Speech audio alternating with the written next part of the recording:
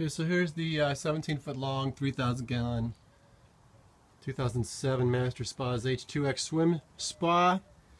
It has been converted over to using hot water from a just a home hot water tank, direct hot, direct heated water tank, and a heat exchanger rather than that silver tube down there, which is the Balboa um, heater, which is about 5,500 watts. This uh, is running off of uh, gas heated water, so it's a whole different animal. So the way this works is normally the water would just come through here, go straight through here, and then get sucked in through the heater, okay? Now, the way it works now is that heater's been disabled. I'm not going to touch it, but these two poles right here are um, where the 220 volts used to go to, 110 per pole. And see those two yellow guys right there? Those are my wires. I basically took off those copper guys that attach to the two 110s for the heater. I send those two 110 volt uh, signals down this this cable into my barn, which uh, when the 220 goes on there, it um, actuates a relay, the special relay that, that actuates the 220 volts. And then it tells a pump that's inside the barn here to run. It pumps hot water into the red hole right here. And it goes through the center of this heat exchanger. And the uh, cooler water that gets that comes you know out and goes back to the heater goes in the blue one. Now, water comes in from the spa and goes into the shell of this thing and comes out here hotter and then starts to go through there. Normally here I will see coming off the hot water heater itself somewhere close to about 130 degrees. It's usually down to about 105, maybe 110, so it's giving up a good 20 degrees or more of heat.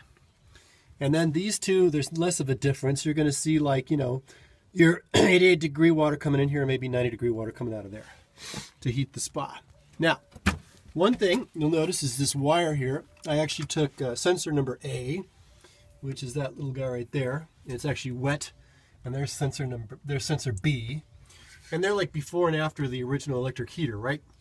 So I actually had a plan where I had run sensor A all the way out and I kind of taped it to the tube right over there uh, outside, not in the water, but just in the, you know, to the tube thinking that, you know, it'll tell it that it's cold.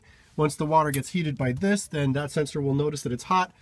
But the spa didn't like that at all. It kept giving me a SN5 error and it would never go into heating mode. So I just said, forget it. I went ahead and put the sensor back in, even though they're both getting the, the heated water it's actually very happy. So how does this stuff work? Well, right now it's keeping it at a nice 88 degrees. Last night at uh, 10.30 or so, I started it at 65 degrees. By the time I went to bed, it had gotten up to 70. That was at 12.30 midnight. This morning I got up and I had 88 degrees. So it, it, it operates perfectly fine. Um, it's uh, in economy mode right now, so when it uh, sees a um, when it does one of its filter cycles, it'll check the temperature on the, the sensor here. If it doesn't like it, it'll click these relays on, which, uh, I mean, that relay here, which will send 220 into my barn, and it'll tell the pump to start running. It'll heat it right up. The sensor says that it's up to the right temperature, and it just clicks that relay back off again, stops sending 220, and then the spa just acts like a spa. It acts the way it's supposed to. I don't do this thing of letting it get completely cold and then turning on the gas and heating it up like crazy, you know, every time I want to go swimming. So, or my wife actually. I don't use this thing, but my wife does. So that's that. Anyways, um, this is kind of laying open like this because I'm kind of getting ready to actually very seriously insulate it. This isn't serious insulation. It's going to be very, very seriously insulated.